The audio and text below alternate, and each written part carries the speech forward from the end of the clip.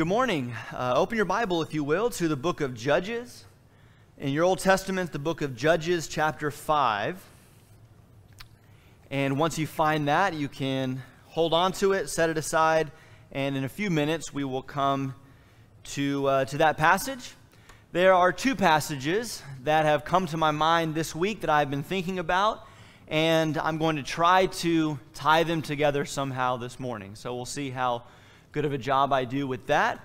Um, but the second of those two passages is in Judges chapter 5, and so we'll come to that in a few minutes. Um, just real briefly, let me say that you know, uh, maybe you know, that we've been doing some lessons on worldview this year. Uh, one time each month is the plan for that.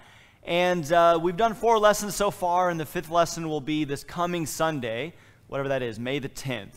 Um, and so, if you have not heard those lessons or all of those lessons, I would encourage you to go to our website and listen to them, especially the last one in, uh, in April. Was a morning we had a, a, few technical difficulties here at the building for our live stream, and so the audio on the on the YouTube video cuts in and out a little bit, but the full, complete audio is on the website. Thanks to Robert recording that uh, through a different mechanism. And so, um, if you want to go listen to the previous lesson, especially, um, what's happening in that in that series, if you want to call it that, is that the first several lessons are kind of the foundation, building blocks that the specific ideas as the year goes on will build on. And so, it will be helpful, I think, to have those uh, freshly listened to or called to mind uh, as we go into our next lesson next Sunday. Uh, but for this morning, a couple passages that I've been thinking about. And the first of those is in Psalm 133. Actually, it is Psalm 133. It's not very long. This is it, the whole thing right here, three verses. Psalm 133, as you see on the screen in front of you, says, Behold, how good and how pleasant it is for brothers to dwell together in unity. It is like the precious oil upon the head coming down upon the beard, even Aaron's beard, coming down on the edge of his robes. It is like the dew of Hermon coming down upon the mountains of Zion. For there the Lord commanded blessing, life forevermore. No beards is not the reason I've been thinking about this passage, although some of us, not me, of course, as you can tell, I haven't had much success. Some of us have let our beards grow long in this quarantine of the last uh, month or so. But of course, I've thought of this passage because I have seen this to be so true among our people in the last six weeks or so. How good and pleasant it is for brothers to, to dwell together in unity. I give thanks for the unity among this congregation. You don't need me to tell you that uh, this particular crisis, like any hardship, uh, is and can be the source of conflict and division. Um, you know, because you see it every day, that everybody has their own opinion about what's going on. You can turn on the TV, depending on what channel or on what person is talking. Uh, there are all kinds of hot takes about uh, what's happening and what the solution is to this.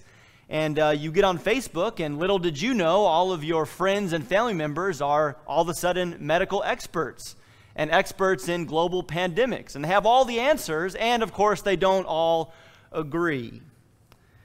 And I say that a little bit uh, tongue in cheek, obviously, but the reality is, even people that are experts, the medical doctors, the scientists, even they don't seem to fully agree on what's going on or what to be done about it. And this week compared to last week, compared to six weeks ago, compared to next week, opinions vary even more. And when things are hard, when people are either fearful uh, for their own health, they're fearful for their well being, or they're frustrated uh, because they, they can't get out and work or they're tired of being inside. These fears and these frustrations just make the differences of opinion, or I could say can make the differences of opinion, uh, really turn into to tension that can uh, turn people against each other or split people apart. You know this is a very real thing, and unfortunately, churches are not immune to this kind of conflict, this kind of division. But again, uh, I will say that from my limited perspective, because I don't know all, from my limited perspective, I am just so thankful to God because what I see among our people is a spirit of flexibility, a spirit of support and encouragement and love being shared with one another. And um, I'm, again, uh, would say with the psalmist in Psalm 133 how good and how pleasant it is. I don't want to spend a whole lot of time on this psalm, uh, but I do want to talk about some of the strange and fun things about this psalm because it is weird. You know, we talked about poetry not too long ago in a class on psalms. Poetry can be weird, and this psalm is one of the weirdest because it says that this wonderful unity among God's people is like oil that flows down the head and the beard of Aaron all the way down his garments. What in the world is this talking about? I'm not really uh, all that sure, but it is a reference to the, the anointing of the high priest. Remember, Aaron was the first high priest. Exodus 30 describes that he, and then the, all the high priests that would succeed him, uh, they had oil poured on their head as a way to signify that they are the high priest of God. The high priest would be, uh, in many ways, a unifying figure. He's the, the one uh, person that goes into the most holy place representing the people to bring that reconciliation between uh, God and the people. And so he would be a, a, a, figure that people could be unified around. But I wonder if, if it's more so that oil, that, that precious oil, the psalm says that signifies uh, that he's been chosen by God. Unity is, is uh, um, sanctified, unity is precious. Unity is, is given to God's people by him as a wonderful blessing that really can only truly be found in him. And some have, have, have pointed out that the oil flowing down from the head to the bottom of his garments uh, is a picture of, of bringing people together uh, from, from top to bottom, so to speak. But the second image, the second metaphor that's given is the dew of Hermon. Hermon being uh, one of the northernmost mountains, usually snow covered throughout the year. The dew of Hermon coming down upon the mountains of Zion. Zion being where Jerusalem is located in the south of Israel in a very dry hill country, similar to the hill country we have here in Texas. And so the picture of unity there is that it is refreshing um, like that, that the top of that snow covered hill bringing its, uh, its dew down to uh, dry Mount Zion. And again, maybe you have that north to south unifying of all things coming together. But unity is given by God, unity is refreshing in a dry and barren world. And unity is a, uh, is a, is a key part of this last statement that the psalmist makes that there at Mount Zion, the Lord commanded the blessing, life forevermore. That's one of the beautiful things about the life that we have in God. That God gives us this life that we get to enjoy together. That as brothers and sisters in Him, not only do we have eternal life ourselves, but we get to, again, participate with each other and experience and enjoy that together. Unity is a, is a beautiful thing, especially because of how rare it is in our world and of how precious it is among God's people. And again, I, I thank God for what I see of the unity among this congrega- in this congregation. But you realize that I can make that statement um, about this psalm, that I can say Psalm 133 is a picture of the unity that we have in God. Even though it's, it's using images, it's written by uh, you know, the Israelites, it's using images from the Old Testament, from the geography of Israel. If you're familiar with the, the Old and New Testaments, you, you understand that passages like this, because of Jesus, because of his unifying work as our high priest, in Jesus, we can read passages like this in the Old Testament and we can see ourselves described in it. And again, if you're familiar with the stories of the Old Testament, you understand that a passage like this in Psalm 133 is so beautiful. God's people dwelling together in unity, but you may remember that that was hardly ever the case in uh, historical Israel, that they were so often divided, not only amongst themselves, but separated even from their God. But there are, like Psalm 133, in the Old Testament, there are these glimpses of what it should be like there are these little pictures, snapshots of the ideal, of what God truly desired. And then, as we have said, that becomes fulfilled in Jesus and in the new covenant. And so, the other passage that has come to mind is also in the Old Testament, where I had you turn in Judges chapter 5. And Judges chapter 5 is itself, I think, another glimpse of what things should be like that was so often failed uh, in, or I should say, not lived up to among uh, Israel of old, but a passage I think that points us to what God desires for his people in Christ Jesus. And so let's look at Judges chapter 5 and think about this idea of unity. Let's hold that picture of Psalm 133 in our minds as we go through. And think about unity in victory which is what we see described in Judges chapter 4 and 5. It may surprise you that we're going to the book of Judges to see a picture of what God desires among his people. Uh, the book of Judges is one of the darkest uh, books in the Old Testament in terms of how wicked and how uh, far from God uh, his people have drifted. Just very, very quickly, remember in the beginning of Judges, it describes how when the people came into the land, they failed to drive out all the inhabitants of the land, which meant that those people were left to be a thorn in their side and to draw them away from serving God. And once Joshua and his generation passed on, that's exactly what they did. They turned to serve other gods. And that kicks off what we call the cycle of the judges, where the people would serve other gods and so God, to discipline them, would send uh, an, another nation to oppress them.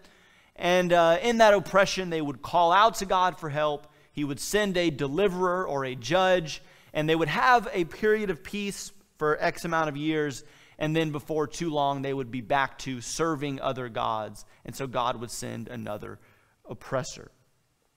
And by the end of the book of Judges, we see how awful this has all become. And the stories at the end of the book of Judges are terrible. And the final uh, uh, word of the book of Judges, literally, in chapter 21 and verse 25, is that in those days there was no king in Israel, and every man did what was right in his own eyes. That's what things had become in Israel during the time of the Judges.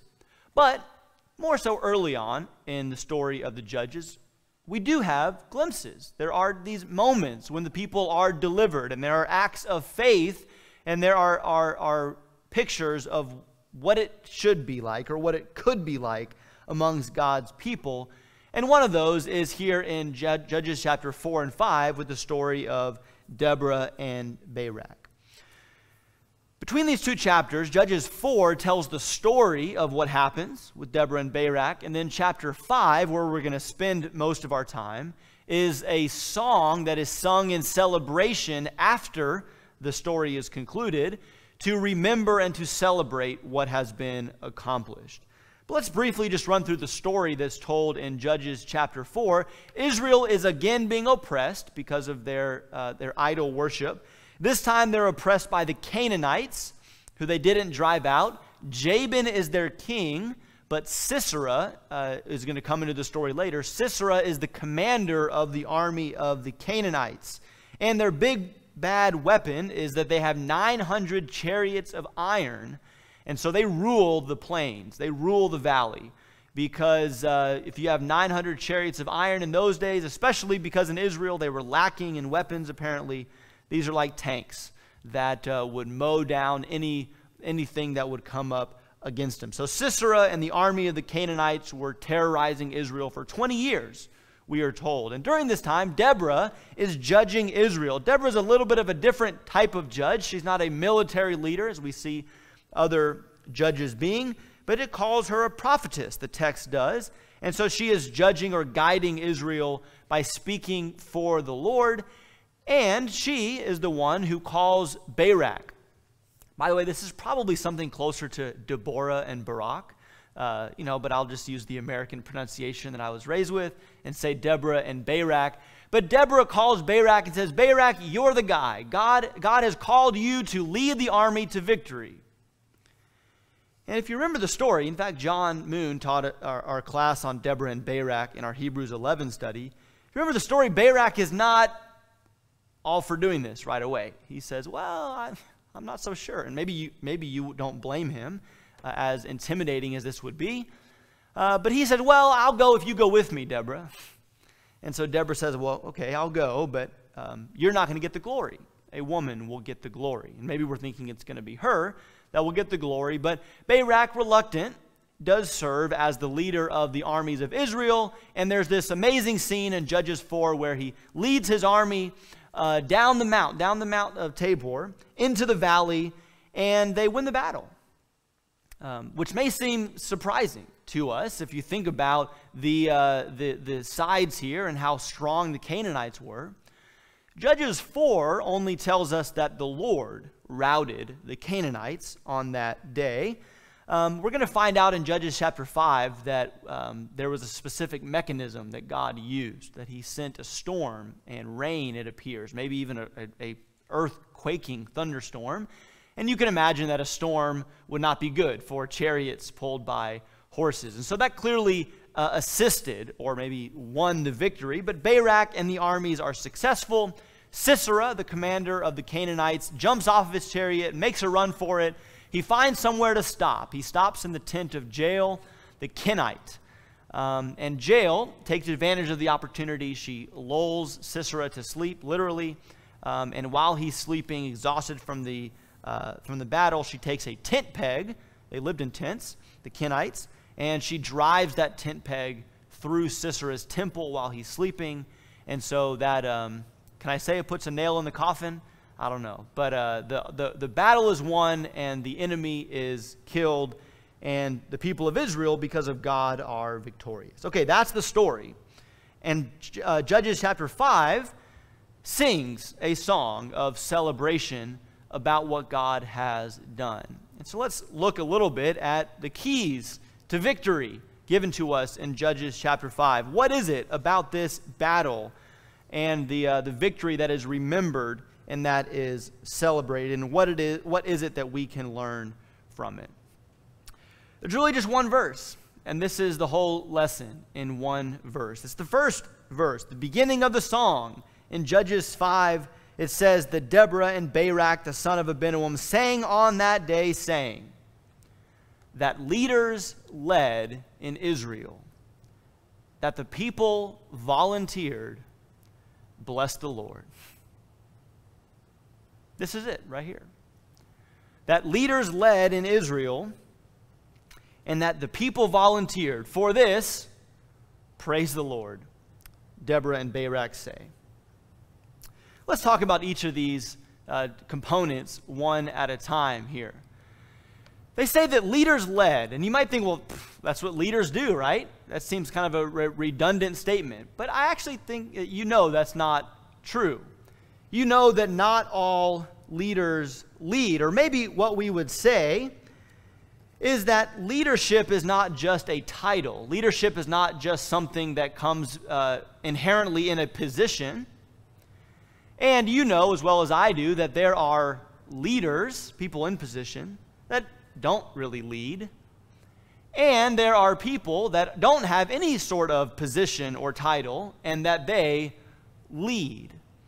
And so you get the, the sense of this statement that leaders led. And I think there is a reference here to the people that do hold positions of leadership or positions of authority. And maybe, of course, Deborah and Barak come first to mind. Uh, Barak was a little bit reluctant, we know, but he is still included in Hebrews 11 by faith, Barak, or he's included in a list of judges that acted by faith. And someone had to lead that army, had to get out in front and run down the mountain and, and lead the charge, and Barak was willing to do that. It's pretty an amazing thing. But he took it on himself. And he stood up in front, having been uh, appointed apparently by God and been encouraged by Deborah. Barak was a leader that stood up and said, Follow me to victory. Deborah herself, in a different way, uh, was a leader.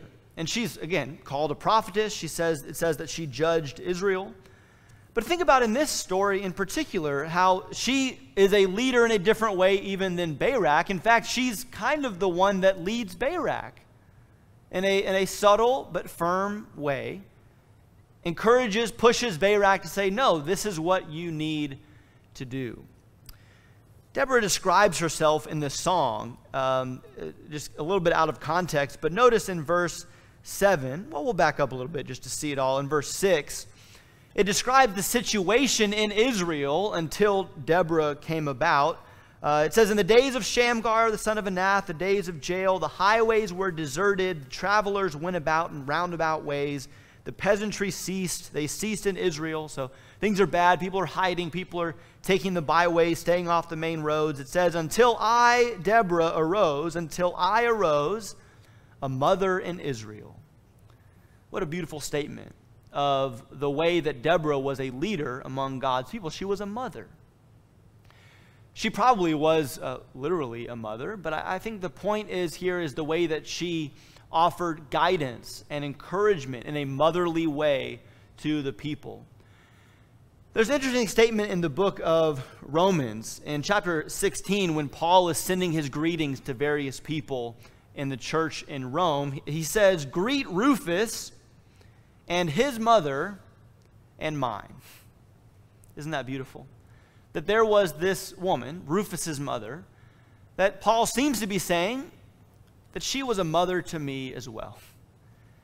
Don't we have that in, in the body of the Lord? Isn't that such a wonderful thing that we have women that while the New Testament is, is clear that they do not uh, hold the same positional uh, uh authority, uh, positions of authority as men in a public way. Still, uh, we have women that lead, and they serve this role as mothers and encouragers. And I can speak for myself, um, and there are women, my wife, my own mother, and, and other women throughout my life that have pushed me, that have encouraged me, that have helped me, given me guidance. And I'm thankful for that. Barak was a leader Deborah was a leader. The leaders led in Israel. But I think we could also point to others in the story, one in particular, that though not a person in a position or a person with a title, they still stepped up and did what needed to be done and be, could be considered among the leaders that led. Jael, in particular, comes to mind. The song actually praises Jael, starting in verse 24 down to 27. We won't read all of that. It's rather violent as the story goes. But Jael was a nobody. And other than the story, of course, I don't know if we would have ever have heard of her. She had, didn't have a title, she didn't have a position. But when Sisera came to her tent, she saw an opportunity, saw an opportunity to act, to, to, to do something that would, would help the cause. No one had to tell her to do it. No one had to command her to do it. She did it. She took initiative to drive that tent peg through Sisera's head and to clinch the victory for God's people. And for that, the song says in verse 24, most blessed of women is Jael. The leaders led, not just those who had titles, but we do see them leading in this story, but those who had opportunity to lead did exactly that and took the initiative. This is exactly what I've seen as we think about what's happened here in the last month or so. I've seen this very thing. And again, I give thanks to God that leaders lead and that leaders have led over the last six weeks or so. Let me just add my voice to the chorus of those uh, in various ways that are, are giving thanks for the elders that we have, for Mark and Brian and Mike they're doing difficult work right now. I think you know that because I've seen the support that's been shared for them. But they're making hard decisions and trying to consider a lot of different factors. As we said, in a time when there's a lot of uncertainty and lots of different opinions, they are considering what is best for us, considering what is best for this congregation, and they are making uh, decisions based on that using their wisdom. And they're communicating that to us humbly and kindly, and they are willing, you should know, you may have seen this, willing to answer questions and to explain what it is that they're thinking and willing to admit that they may be wrong. Um, and so they are making decisions, they are communicating, and they're providing direction that we've been able to continue so much because they have overseen and provided direction for a way for us to continue to do this work and various types of work in this time of being separated. I thank God for our elders, the leaders that are leading among this people. But in line with what we see in Judges 5, I also thank God for people that are stepping up in a lot of different ways to take initiative to lead, even without the, the title or the position. You know all of this stuff. But somehow, as when all this started, somehow these things started popping up. Zoom classes started. And there are kids' classes, and someone had to organize those kids' classes. Someone is teaching those kids' classes. I'm still not really sure how that's, who's teaching those. Um, I'm not a part of them, okay? But the, the, the, the teachers of those, uh, there are ladies' classes that have been organized. There are ladies that are leading those devotionals and teaching those classes. There's a men's call that's been organized, and men are taking initiative to, to lead those discussions. Um, men here, as you know, uh, in this very room that have taken the initiative to set up a system uh, through which we can do this live stream. And that doesn't, all that stuff that I've mentioned, we've mentioned before, doesn't include the other things that are going on. When people see a need and they step up to meet that need, leaders lead. And for those of you that realize that it, you don't need a position, you don't need a title to, to take initiative to do something that needs to be done, I thank you. The Lord commends you for uh, stepping up and showing initiative in that way. So, with the language of uh, Judges chapter 5, I bless the Lord and praise him and thank him that we have leaders who are leading. But the other piece of that, of course, is that people volunteer, that leaders lead, that people volunteer. Bless the Lord. That's the other thing we see in Judges chapter 5. Let's read it a little bit. It's interesting. In, in Judges 5, verses 12 to 18, there is a, a catalog, a list of the various tribes, the various peoples in Israel, and their responses to the call to battle that was put out by Deborah and Barak. Notice Judges 5 12 to 18. Excuse me. Awake, awake, Deborah, awake, awake, sing a song. Arise, Barak, and take away your captives, O son of Abinoam. Then survivors came down to the nobles. The people of the Lord came down to me as warriors. From Ephraim, those whose root is in Amalek came down. Following you, Benjamin, with your peoples. From Machir, commanders came down. And from Zebulun, those who wield the staff of office. And the princes of Issachar were with Deborah. And as was Issachar, so was Barak. Barak. Into the valley they rushed at his heels. Among the divisions of Reuben, there were great resolves of heart. Why did you sit among the sheepfolds? To hear the piping for the flocks. Among the divisions of Reuben, there were great searchings of heart. Gilead remained across the Jordan. And why did Dan stay in ships? Asher sat at the seashore and remained by its landing. Zebulun was a people who despised their lives even to death, and Naphtali also on the high places of the field. Did you catch the different descriptions here of the tribes? Verse 12 to 15 Ephraim, Benjamin, Machir, that's probably Manasseh, Zebulun, and Issachar, describes the people that showed up. They came and said, Hey, we're with you. They were at Barak's heels running down the mountain. They showed up for the battle, and, and there's more that could be said. As you know, the poetry is a little bit hard to uh, distinguish. There could be a reference to the various things that they brought commanders, those that brought the staff of office. So maybe these are administrative folks, but they came bringing whatever they had. They showed up for the battle. But verse 15 and 16, interesting, says that Reuben had great resolves of heart. And maybe you think, oh, that's, yeah, Reuben was really resolved. But says he had great resolves of heart, and then says, why did you sit among the sheepfolds? And then says again in verse 16, among the divisions of Reuben, there were great searchings of heart. Sounds like Reuben really thought about it. You know, they were really torn up and really uh, maybe intended uh, to, to go to the battle.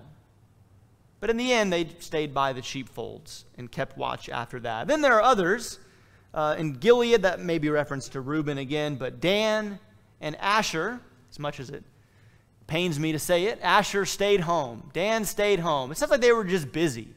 Stayed with the ships, stayed with the things that they were uh, doing, and didn't pay any attention to this call to battle. But in verse 18, we have Zebulun and Naphtali. Zebulun didn't count his life as something worthy of, of holding on to. He risked it all to go along with the battle and to join Deborah and Barak. We have those who show up to the battle in Judges 4 and 5, and we have those who stay home. This willing and supportive attitude, again, has been apparent over the last month as much as the, the leadership of the leaders in our congregation, people have been showing up. Now, it's a little bit weird in this case because we're all trying to stay home, right? So, you know what I mean when I say people stay home? In this story, they stayed home, meaning they were inactive. They didn't respond to the call, they didn't participate, they didn't join the work. But I've seen people join the work, I've seen people participate. When these things have, uh, have been decided and the elders have put out announcements and decisions that they've made, again, I don't know everything, but I've seen expressions of support and thanksgiving. People standing behind our leaders and saying, We're with you, we're praying for you. And I know, I, I just uh, imagine, I've heard them say it before, but I know that, that, that nothing means more to our elders than when people say, I'm praying for you and I'm behind you. But the things that have been started, the, the, the, the streams, obviously, the classes, the, the men's and ladies' calls, the work that's been, people are, are joining, they're participating. Those things can't happen if it's, if it's just set up and then no one does it. People have been participating, people have been joining. And really, as you see here in Judges 5, verse 2, that's the, that, that completes the picture. That's the only way these things can be accomplished is if people will show up, people will participate. And that's how we achieve that unity that is so good and so uh, pleasant.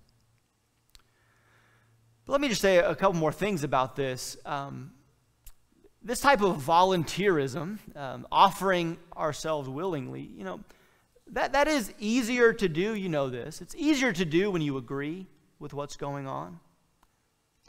What makes this hard is when you disagree or have a different opinion of what's being done. And so let me just uh, add that to the reasons for giving thanks and commending uh, those of this congregation. I know that not everybody in this congregation uh, thinks the same way about this.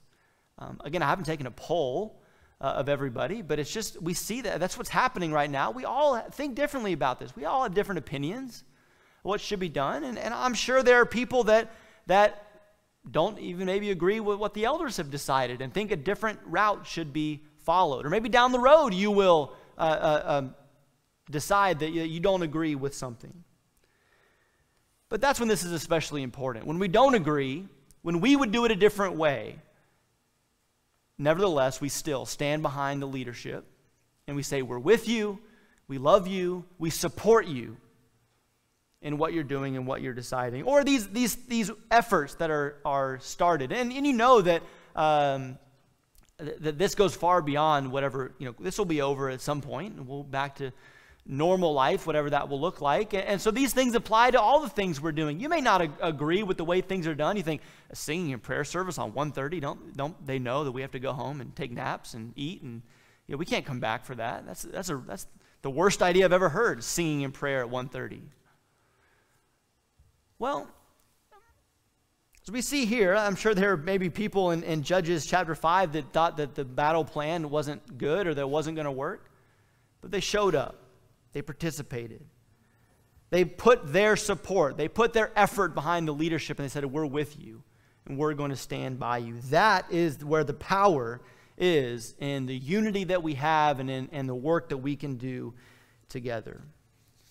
And the other thing I'll say before we uh, conclude this point is that are we sometimes like Reuben and the tribes of Reuben? We have great resolves of heart. I mean, I, I really I'm going to get around to doing that. You know, you know that, that, that Zoom call they're doing on, you know, for, for the ladies on Saturday, that sounds like a really, really good thing. You know, I'm going to do that one of these days. Or that Acts class on Mondays, I, you know, I should really support that at some point. We have great resolves of heart. We have searchings of heart. Oftentimes, that actually makes us uh, a little bit miserable. That, um, you know, I, I, man, I really should do that. But will we move from that to, to actually doing? Or are we like Asher and Dan that we just, you know, I'm busy. I got things going on. I'm not going to worry about it. The work of the Lord is done because leaders lead and because people show up, they volunteer, they participate. And again, I just thank God for what I see in this congregation. And that's again what the song of, of Deborah and Barak is doing. It's, it's not really, in the end, focusing on the people. And I don't, in this lesson, really intend to focus on us ultimately. What we want to do is, is exactly what the song says here Bless the Lord.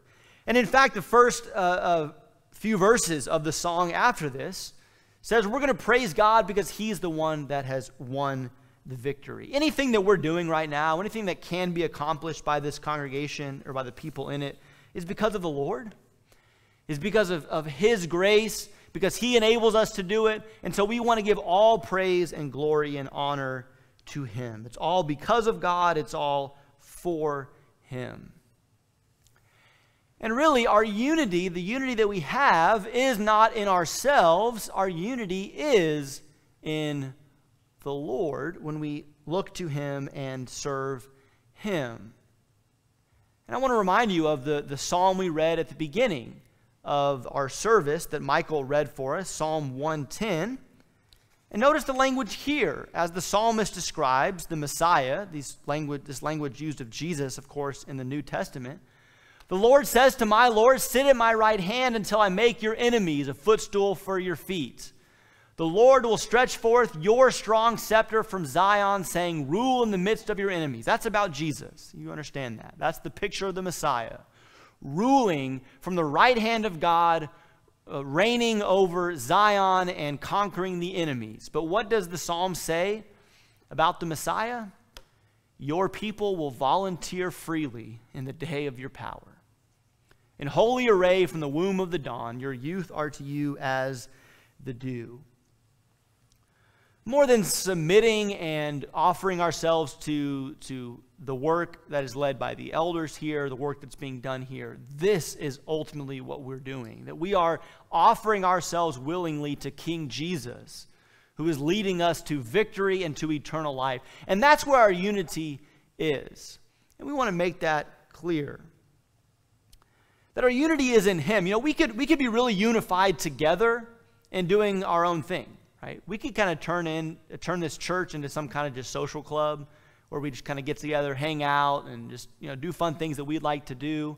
We could be really unified and really close and really tight knit. But that's not what we're talking about. Because if we look at the big picture, of course, of what's going on in the history of our world, Jesus is king. He's the conquering king. All those that are with him are going to have eternal life and, and be victorious forever. And those that are against him, as the rest of this psalm says that we read, they're defeated and brought to punishment by King Jesus. And so this is where we find our unity. This is what, what, what we rally around. And as much as we are doing that, in, in doing the work of God and submitting to Jesus as our King, in Him we find unity. And in Him, together as a body, as a family of God in Christ Jesus, this is what we have to look forward to. The last verse of the Song of Deborah Thus let all your enemies perish, O Lord, but let those who love Him be like the rising of the sun in its might. I think you can see that. Remember, there, there was a storm that shook the earth when they were conquering the uh, armies of the Canaanites. Can you picture the scene on the battlefield as they have fought to exhaustion and the chariots and the Canaanites are fleeing for the hills